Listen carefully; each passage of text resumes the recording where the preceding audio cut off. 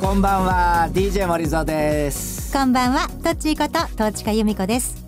ラリードライバーでもあるトヨタ自動車の豊田昭夫社長がハンドルをマイクに持ち替えてお送りするラジオ番組 DJ 森蔵ハンドルズマイク。車のある暮らしをもっと楽しくする30分お送りします。今日のテーマは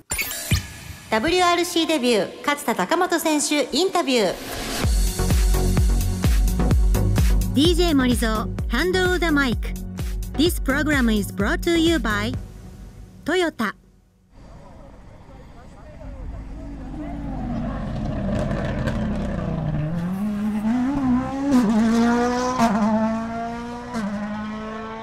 おー迫力ですね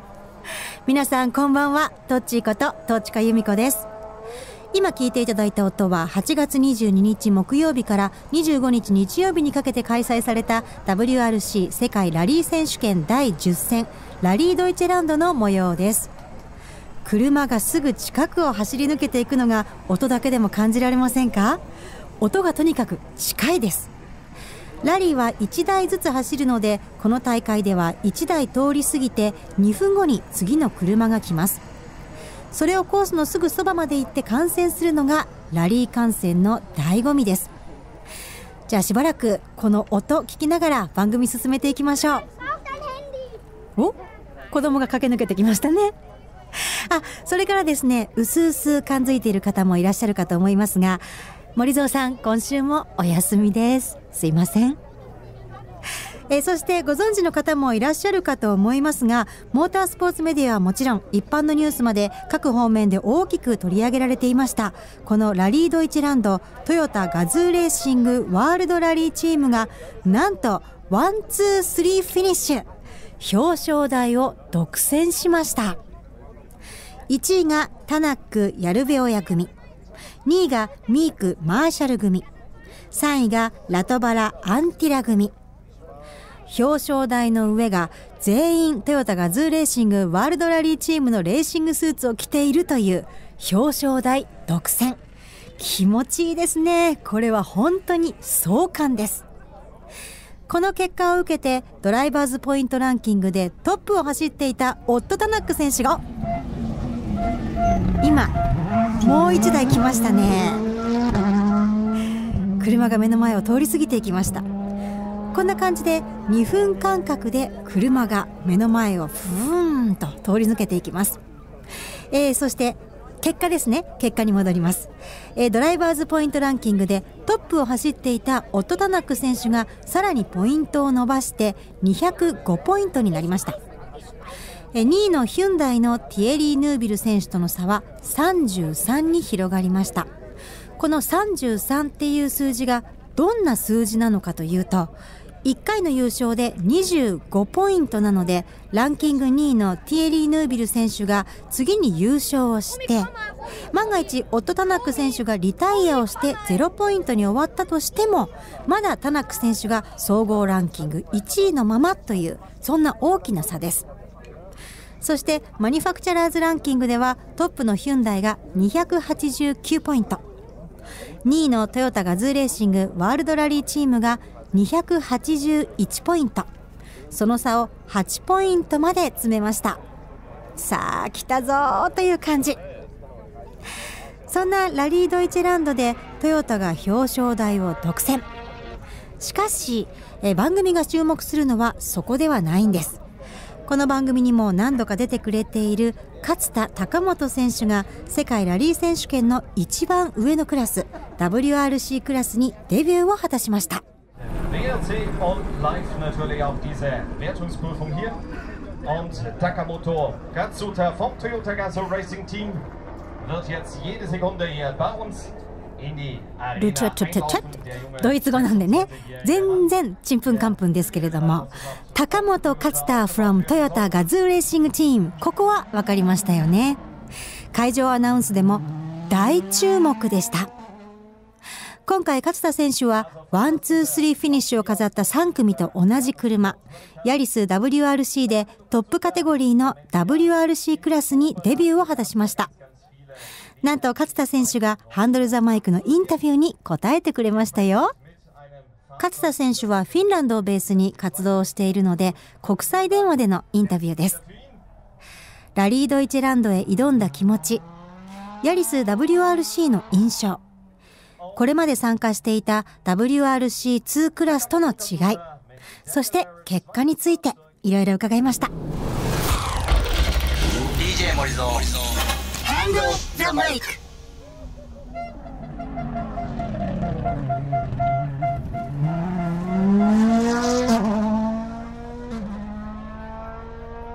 今日は森蔵さんお休みです。トッチーことトッチカ由美子が一人でお送りしています。DJ 森蔵ハンドルザマイク WRC 世界ラリー選手権第10戦ラリードイチランド。注目選手が走るのをヘリコプターが追いかけていきます。車の音ヘリの音そして観客の歓声。全部が混ざってどんどんテンションが上がっていく感じです。楽しいでしょうね現地。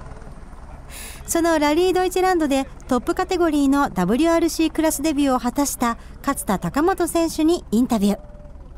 まずは念願の WRC デビューについて今回はどんな目標を持って挑んだのでしょうか？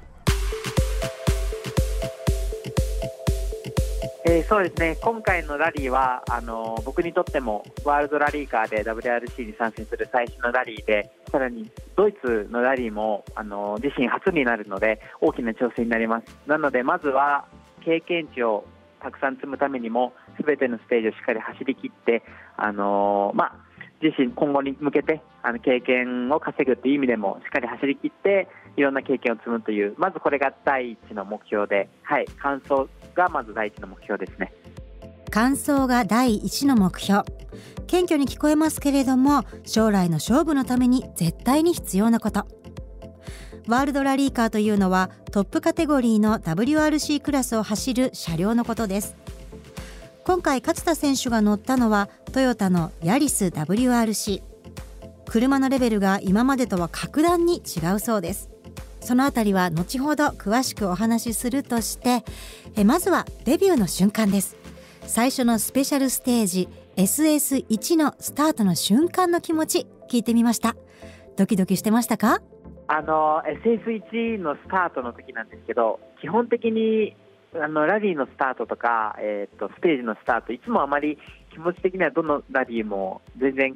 変わらないんですけどいつも同じルーティンやってっていう感じで気分もあまり特に変わりはないんですけど今回なんか少しだけあちょっとなんか緊張じゃないんですけど少しこうあいよいよ始まるんだなっていう感覚というか、まあ、そういう気持ちが少しあったなっていうのを感じたのであなんかそこからも自分自身のどこかに気持ちのどこかになんかあこれがまず第一歩なんだなっていう感覚があったんじゃないかなと思いました。ラリーは1台1台スタートします。特に SS1 のスタートはスタート時点に車を止めて観客の前で自分の名前が紹介をされてスタートするという注目の高いスタートですから気持ちが高ぶらないはずはないと思います。ついにこの場所へ来たという感じでしょうかね。憧れて憧れてようやくたどり着いた場所ですもんね。さあその SS1 WRC クラスに参加した11台中11位高本選手は最下位でした。5.2キロおよそ2分40秒をかけて走る SS1 でトップのタナック選手とは5秒の差がありました。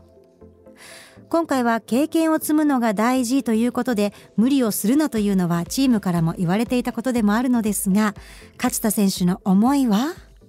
そうですねあのやはり僕もドライバーなので誰よりも速く走りたいという気持ちはもちろん持ってますし、あのどちらかというと、やはりあの頑張ってタイムを出せって言われるよりも、ぜあの遅くていいから完走しろって言われる方が精神的にきついのは少しあります。やはりあの僕自身もやっぱりドライバーで誰よりも速く走りたくてやっているので、やはりその中で、まあ、抑えてるとはいえ、その周りに比べてタイムがあまり出ていない自分を見るのはやっぱり楽しくもないですしなんとかももっと頑張りたいなっていう気持ちがあったんですけどでもそこは今回は本当に自分のやるべきことっていうところであの自分の仕事に集中して今後のラリーでその経験を生かせるかどうかっていうことに重視して例えば今回自分自身コントロールできなくなって例えばちょっとしたミスでクラッシュしてしまったら今回経験取れない分次回がきつくなってしまうのでそういうところをじを考えながら自分自身をコントロールしてなんとか乗り越えれたかなっていう感じで、まあ、正直精神的には結構きつかったです。うんコントロールをするというねきつさですよね今回のラリードイツランドで WRC クラスデビューです。今シーズンはもう一回10月のラリースペインでヤリスに乗って WRC クラスを走ることになっています。ドイツとスペイン2回のチャンスをもらったことになる勝田選手。来シーズンのことはまだ分かりませんがもし1年を通じて WRC クラスに参戦することになったとしたら今回のドイツではとにかく完走すること。全部で19箇所あるスペシャルステージを全て走って経験を積むことが大切ということですね。それは分かっているけれども頑張ってタイムを出せというより遅くていいから完走しろっていう方が精神的にきついというね言葉がありましたけれどもこれも乗り越えなくてはいけないステップの一つなんでしょうね。確かに WRC クラスの SS1 では11台中11位だったかもしれません。でもなんですよ。勝田選手がそれまで走っていた WRC2 クラスよりも全然速いんです。同じコースを走っているのに勝田選手の方が5秒くらい速いタイムなんですよこれ。世界ラリー選手権のトップカテゴリーである WRC クラスに出場するのはワールドラリーカーと呼ばれる車両です。トヨタのヤリス WRC シトロエンの C3WRC ヒュンダイの i20 クーペ WRC などがあります。市販されているヤリスや C3、i20 とは中身も外身もだいぶ違います。一方で WRC2 クラスは R5 と呼ばれる規定の車が走っています。どんなところが違うんでしょうか？今まで僕が乗っていた R5 車両とワールドラリーカーの大きな違いはあのもちろん見た目でも大きく違うんですけど中身はもうまるっきり違いましてエンジンのパワーはもちろんあとダンパー、デフあの空力パーツもう何もかもが最先端をいってますあのワールドラリーカーの方は。っていうのは R5 はカスタマー向けに販売している車両でもあるのであのコストをある程度リミットが決まっててその制限コスト内で作るパーツを作るっていう感じになってるんですね。なのでかなりこう物一つ一つの限界がだいぶ違ってダンパー一つでももう値段も違いますけどこう路面をつかむフィーリングだったりとかあとはエンジンはまあ簡単にエンジンのパワーさは感じれますけどもう何もかもが大きく違うので正直そのシェイクダウンで初めてターマック走った時は最初1本目2本目は目がついていかなかったですねあのペースノートを聞いてペースノートで聞いた言葉を頭でイメージして道を作ってそれに沿って走っていくんですけどあのそれがついてこなかったです。っていうのは R5 とのスピード差もものすごかったので最初はもう目もその頭のその回転のスピードもついてこなくて最初はそれくらいやはり速度差があって衝撃でしたね本当に。はい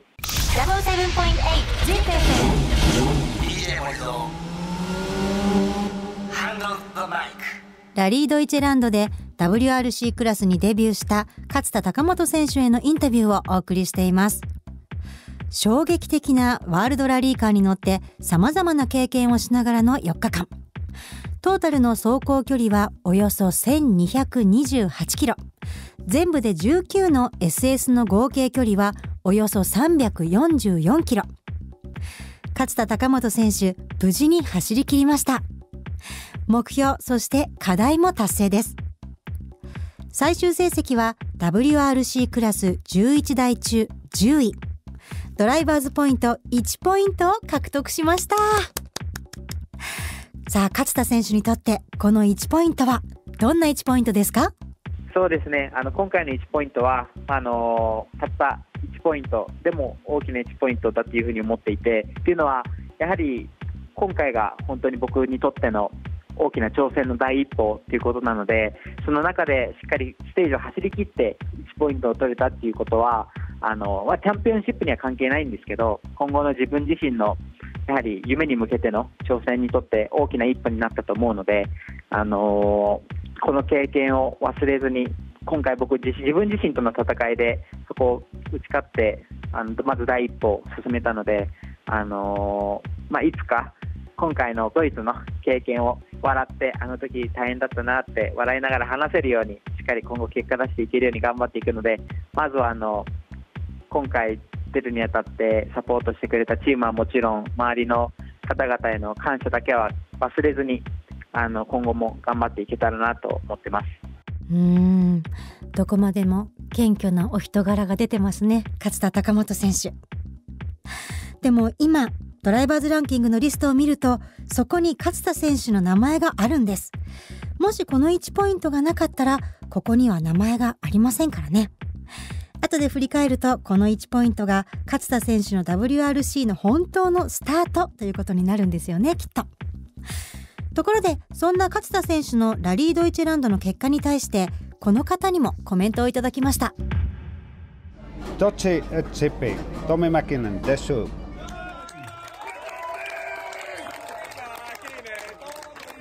Very wise, very wise driving, no question of that. He was uh, he followed uh, the the idea how we wanted to see him. Not too much pressure. He was just enjoying and learning and learning and learning. Not pressure, not looking the others at all because mostly mostly first thing is to, to learn ありがとうございます。トヨタガズレーシングワールドラリーチームの富マキネン代表です。非常に賢いドライビングでした。何も問題はありません。我々が見たかった走りをしてくれたと思います。プレッシャーを受けることもなく学ぶことを楽しんでいました。まずは学ぶことを第一に他の車を気にせずヤリス WRC の運転を学んで距離を稼いでくれました。初めてここに来て初めてのラリーカー初めてのステージでしたがミスをしなかった。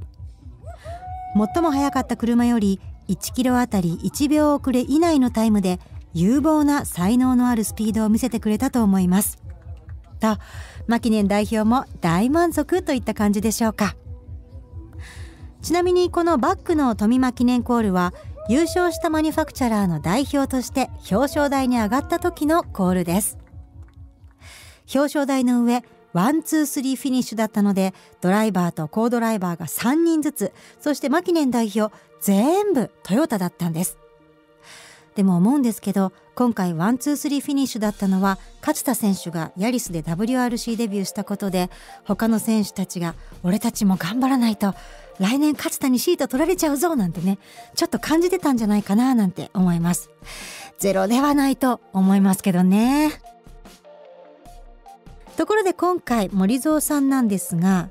もちろんドイツまで応援しに行きたかったとは思うのですが残念ながら出張できず日本からの応援でした。勝田選手のところに森蔵さんから何か連絡はあったんでしょうか？えっと、森蔵さんとはラリー前にやり取りをさせてもらってで楽しんで走走るんだよっていう話とか、はい、いろいろとアドバイスいただいてでラリー後にももちろんあのいろいろやり取りさせていただいて内容的にはもう正直そうですね。育成ドライバーと一企業の社長のやり取りとは思えないような 内容っていうかというのはあの、まあ、森蔵さんもドライバーでもあるのでペースノートの話だったりとかドイツの道はこうだったとかそういった結構マニアックなラリーのマニアックな話をあ本当に森蔵さんはこうラリーが好きなんだな、まあ、モータースポーツが好きなんだなっていうのをより感じて僕自身も嬉しくなりましたしあのもちろんモチベーションにもなって今後必ず結果出してその報告をしたいなというふうに感じました。モリゾウさんの話になると勝田選手こう笑いがこみ上げると言いますか今回のインタビュー唯一の笑いはモリゾウさんの話で出てきました。勝田選手のことは子供の頃から知っているというモリゾウさんですが楽しんで走るんだよというのはもうほぼ親戚のおじさんの感覚でしょうね。世界ラリー選手権第10戦ラリードイチェランドで最高峰の WRC クラスにデビューした勝田貴元選手。次回は10月24日木曜日から27日日曜日にかけて開催される第13戦です。ラリースペイン。今度こそ森蔵さんは応援に行けるんでしょうか？あでも東京モーターショーの真っ最中ですねこれね。難しいかもしれませんね。77.8 ZIPFM DJ 森蔵 Handle the mic